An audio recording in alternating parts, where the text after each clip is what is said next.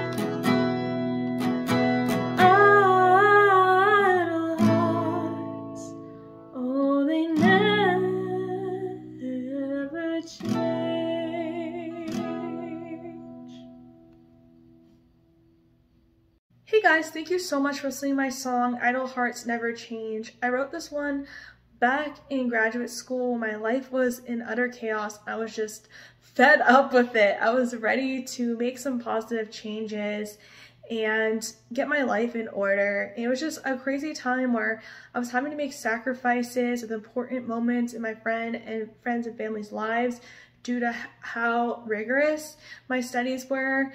And I was just struggling to stay healthy and to keep my life in order.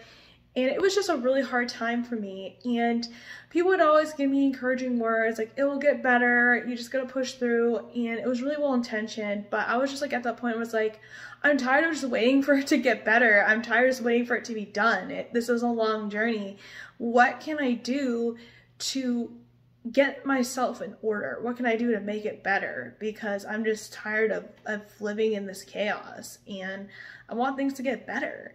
And so this is a song that's about championing that, eh, championing on rallying yourself, finding a way to make the, the tough times just a little bit better and to push through in the best way that you possibly can.